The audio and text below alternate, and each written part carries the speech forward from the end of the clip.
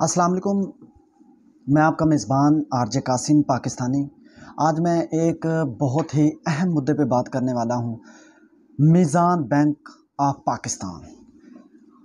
रायविंड की ब्रांच, वो जो फाटक से गुज़रने के साथ ही छोटी कॉर्नर पे ब्रांच है एक, मीज़ान बैंक। वहाँ के स्टाफ के बारे में, वहाँ के सिक्योरिटी गार्ड्स के बारे में आज मैं चंद बातें करना चाहूँगा।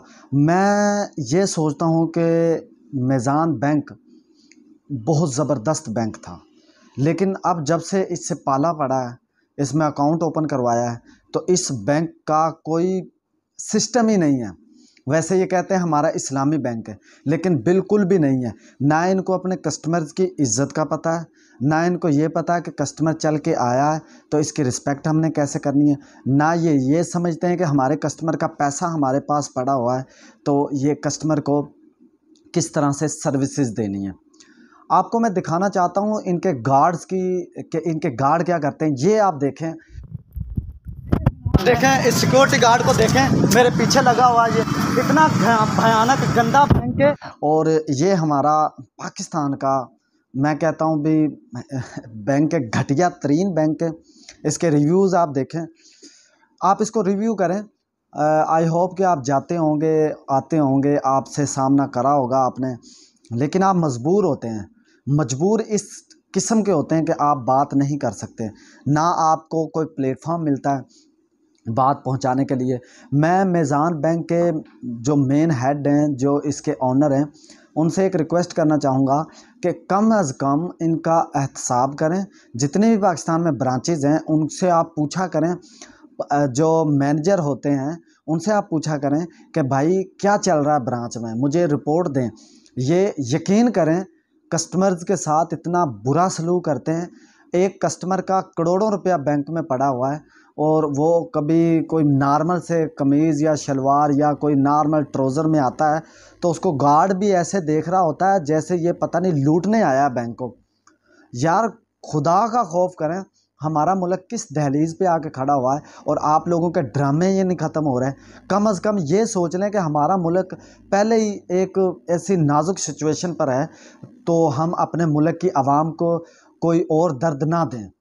हमारे मुल्क की आवाम पहले डिप्रेशन में पुलिस को लेके सार्जेंट को लेके और मोटरवे वालों को लेके और पता नहीं क्या, किस किस किस्म के डॉल्फिन को लेके हम पहले ही परेशान हैं। और आप लोग जो बैंक वाले हैं, बंदा बैंक जाता है अपने पैसे निकलवाने के लिए, वहाँ पर भी डिस्टर्बेंस होती है हमारे लिए।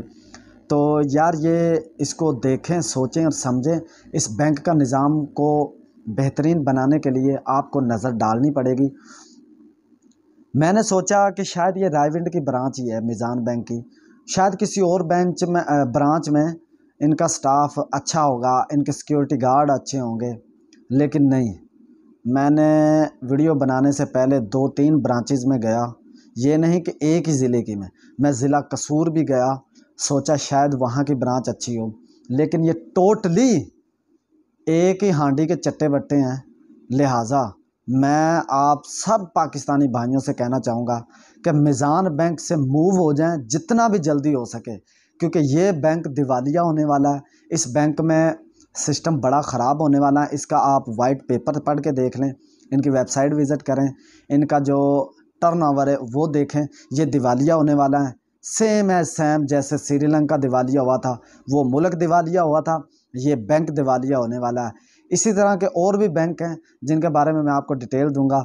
वीडियो को लाइक कीजिएगा सब्सक्राइब कीजिएगा चैनल को और अपने दोस्तों तक इस वीडियो को ज़रूर पहुंचाइए कि मीज़ान बैंक से अवॉइड करें। अगर आपका अकाउंट है तो उसको जल्द अज जल्द खाली कर लें, किसी और बैंक में ट्रांसफ़र कर लें, वरना आप अपने पैसों से हाथ धो बैठेंगे।